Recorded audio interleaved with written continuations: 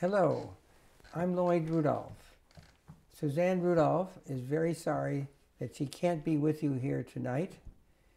Her doctor has advised her against traveling from California to New York.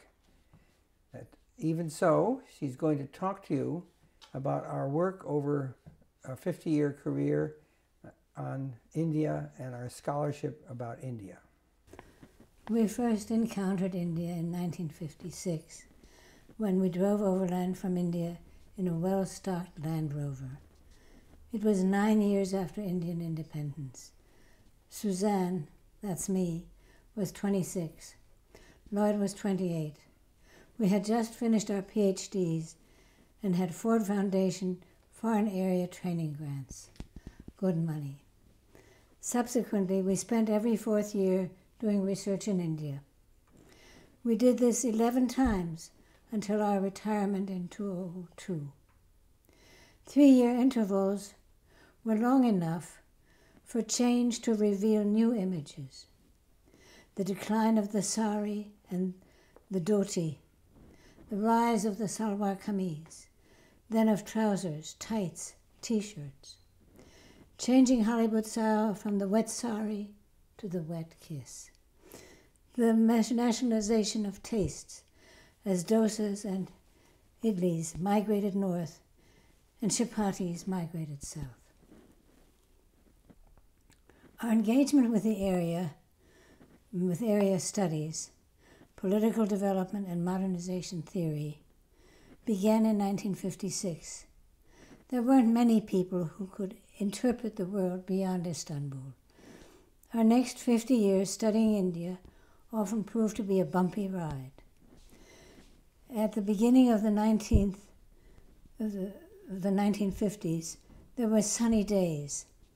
The romance of Gandhi, admiration for Nehru, the commitment to international cooperation and development. Then, in the 1960s, came the stormy weather of the Cold War.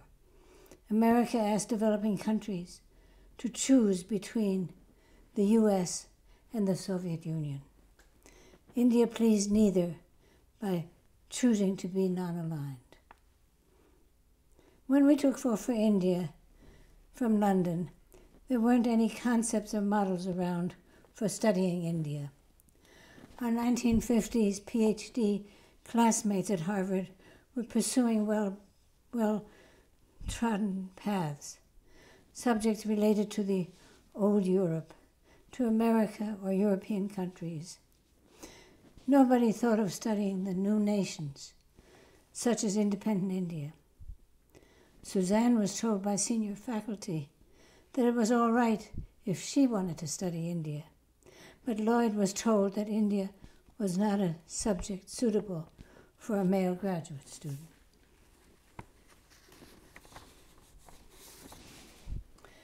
When we returned to Harvard from our research in India, and asked to offer a course on India, our request was refused. We were told we could offer a course on India as part of the British Empire. The next year, we succeeded in introducing courses on Indian government and politics, modern Indian history, and Indian civilization. In 1964, we accepted appointments at the University of Chicago's outstanding South Asia Center, where for 34 years, we taught courses on India.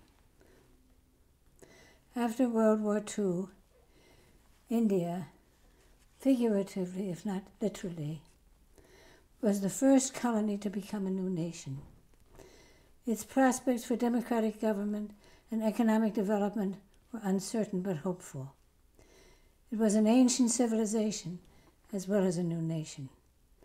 Our first book, the modernity of tradition challenged modernization doctrine that tradition would be swept into the dustbin of history and that they were destined to become like us. We found that tradition was adaptive and that we could learn from them, and so we learned.